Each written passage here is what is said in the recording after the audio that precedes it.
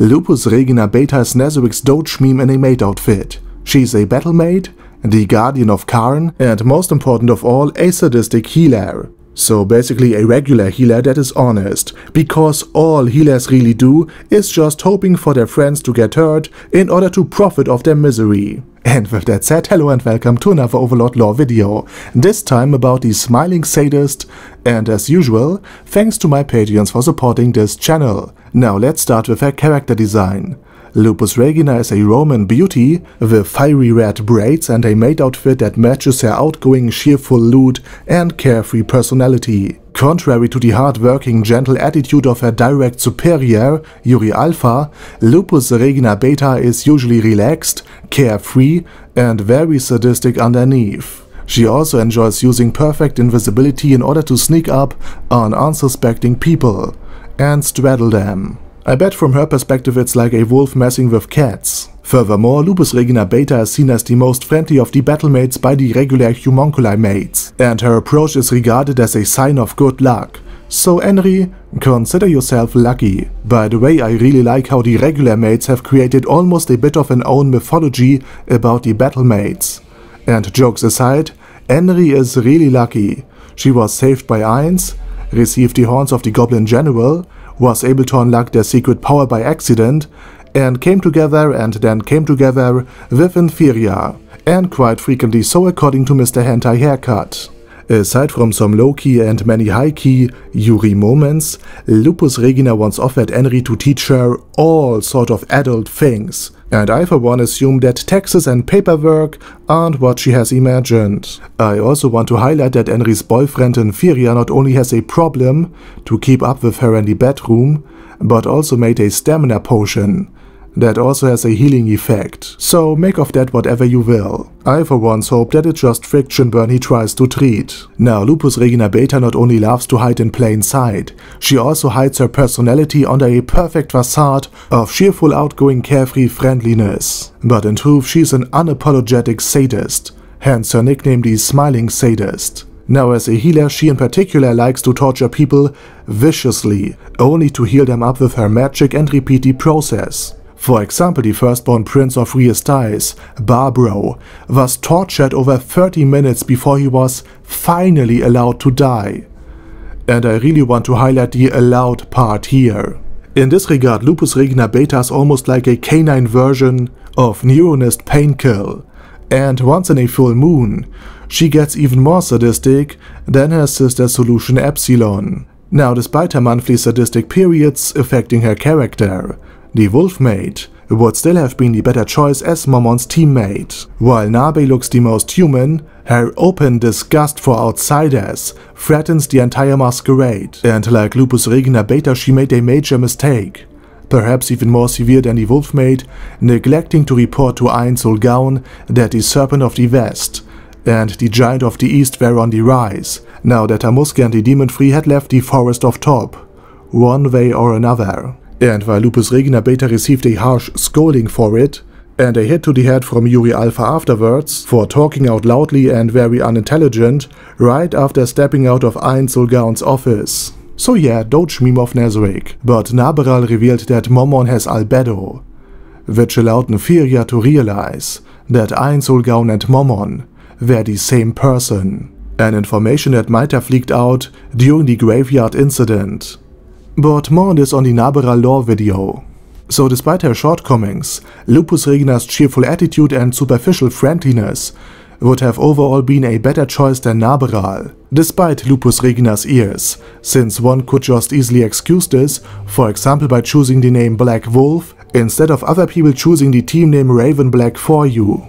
Furthermore, if Renner is successful with her superficial kindness, then Lupus Regina should be able to pull off the same trick. Now as far as her stats go, she's a very well-rounded character, both able to use magic and physical attacks to an almost similar degree, and her high resistance enables her to withstand magic effects, skills and spells quite efficiently, while her lycanthrope nature renders her very vulnerable to silver, to the point where Yuri Alpha considers silver platters, spoons and other cutlery a punishment to her, on the flip side, this weakness also entails a significant boost to her resistance against any other metals, for example iron or bronze. We also don't know much about her werewolf form, but it presumably enhances her strength, HP, and perhaps her defense, as well as maybe her dexterity, which compared to her superior Yuri Alpha and her fellow sister Shizu Delta, who is only level 46, is almost neglectable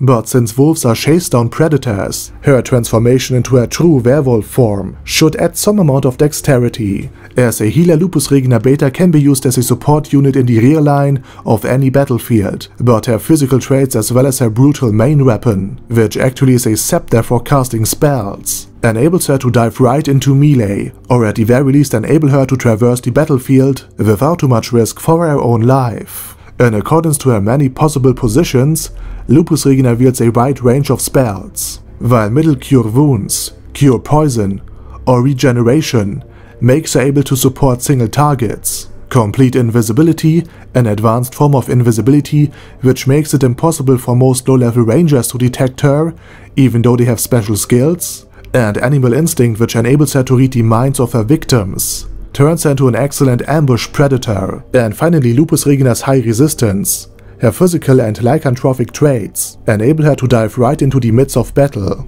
and use for example all greater heal to restore the health of multiple allies at once.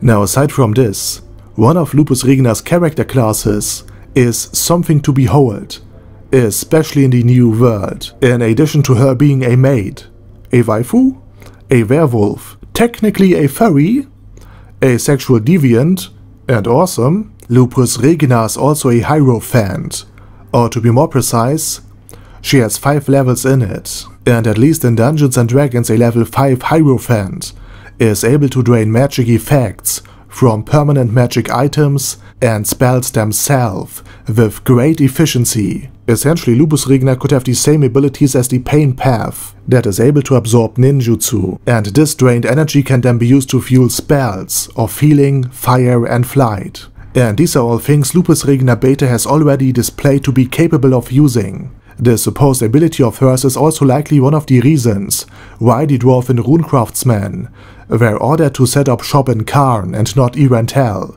aside from the earlier explosions, and the already established potion research facility of course, if anybody would try to steal runecraft weapons, or one of the experimental potions and try to use it against its creators, Lupus Regina presumably could drain the rune's effect, depriving the weapon at least temporarily of their magic effects, leaving the by that time scared thief unable to use runecraft itself, thus even if he or she survives, Something which, by the way, you generally really don't want to do around the smiling sadist, the thief would be unable to report on the effects.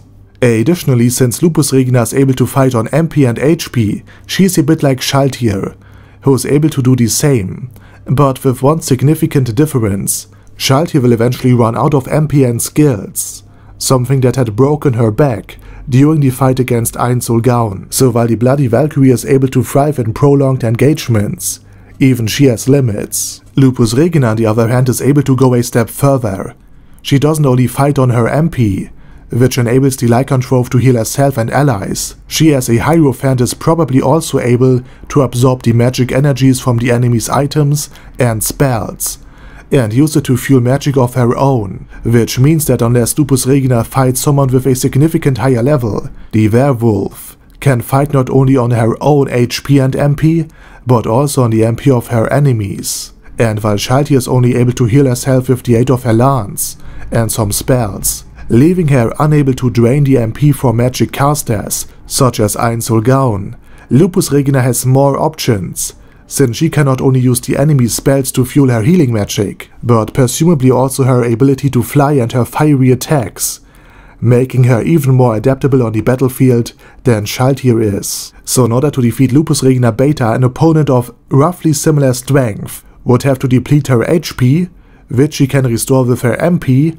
and her MP, which she can restore by draining your spells and even magic items. Although you should be able to resist this if you're directly holding onto an item and have sufficient will. And all of this fits in perfectly with my assumption that Buku Buku is at least in part her creatress, since it would mean that Lupus Regina's character build is superior to that of Shalltear Bloodfallen, her little brother's creation, which would further explain why Lupus Regina, despite her low level, taunts Shalltear, at least behind the Valkyrie's back, although in Mass of the Dead it was stated that the Beast King Mekongava was her creator, which raises the question which relationship he and Buku Buku had, since he is called Beast King, his mate is a lycanthrope, and Buku Buku's floor guardian is a beast master. All I'm really saying is that Renner might not be the only one with a fable for leashed dogs. Fun fact in Roman mythology Rome, the eternal city, was built by the twins Romulus and Remus, and they were said to be orphans.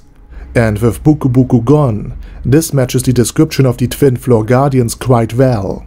And Lupus Regina literally translates to Wolf Queen. And of course the amphitheatrum is found on the same level as Aura and Mare.